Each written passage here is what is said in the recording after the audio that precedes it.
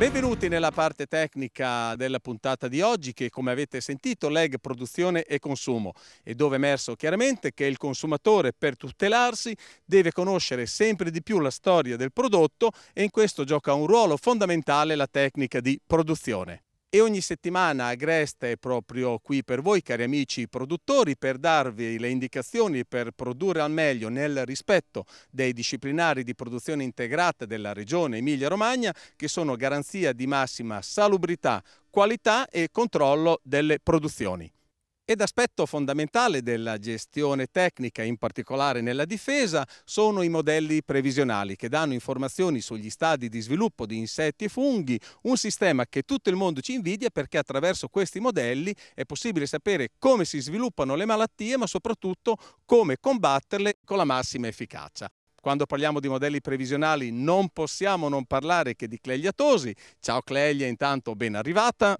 Ciao Riccardo, buongiorno a tutti. Cominciamo a vedere qual è lo stadio di sviluppo della ticchiolatura. Come siamo messi?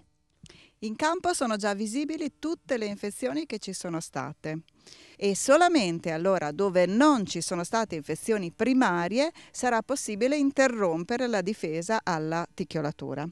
Sul pero invece la difesa fungicida continuerà facendo particolare attenzione in questo caso alla maculatura bruna. Nell'ultimo periodo abbiamo avuto un'elevata ventosità che ha determinato delle condizioni sfavorevoli. Quindi al momento il rischio indicato da modello è basso. Anche la lettura dei vetrini che eseguo due volte alla settimana ci indica un volo molto molto scarso.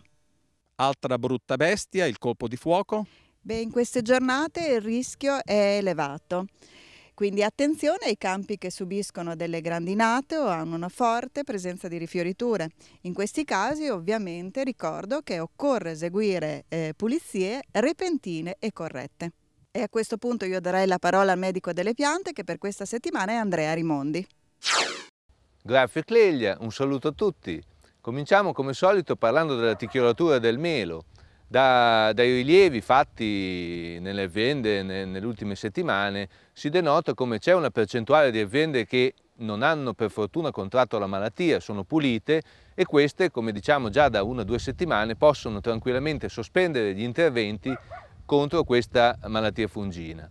Purtroppo però vi è anche una percentuale di aziende che hanno infezioni più o meno gravi di ticchiolatura e queste dovranno ancora continuare a coprire in modo piuttosto attento perché abbiamo ancora frutti sensibili alle infezioni di, di ticchiolatura eh, in particolare alle infezioni secondarie che potrebbero generarsi dopo bagnature dovute a piogge ma anche a rugiade o a irrigazioni sopra chioma appunto dalle macchie già presenti in campo. I prodotti da impiegare in queste aziende sono i soliti Dithialon, la dodina, il captano e nei casi più gravi si può fare ricorso per ridurre un po' la sporulazione a rame e zolfo, facendo attenzione però per limitare al massimo la fitotossicità che questi prodotti possono avere, di effettuare gli interventi non nelle ore calde e con pianta asciutta.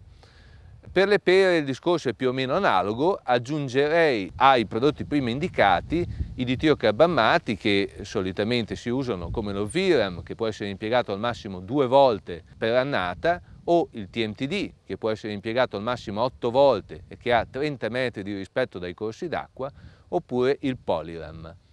Se da un lato comunque sta calando un po' il rischio di ticchiolatura crescendo i frutticini e quindi diventando questi meno sensibili, dall'altro aumenta sicuramente il potenziale rischio di maculatura bruna. Dico potenziale perché adesso per esempio non ci sono condizioni favorevoli alla malattia, che sappiamo essere quelle di clima piuttosto caldo, umido, con bagnature delle foglie appunto dovute a rugiade, a piogge e irrigazioni. Qualora si dovessero verificare però queste condizioni, dovremmo fare ricorso ai prodotti un po' più attivi, un po' più specifici, contro questa malattia associando al tipico prodotto di copertura che viene usato, quindi che può essere il TMTD o il captano, le strobilurine che ricordo possono essere impiegate al massimo tre volte in un anno e mi riferisco a trifloxistrobin o piraclostrobin oppure il Rovral che però non può essere impiegato più di due volte nei nostri frutteti in un anno. Ora cambiamo argomento, parliamo di insetti ma prima sentiamo Cleglia con i suoi modelli previsionali.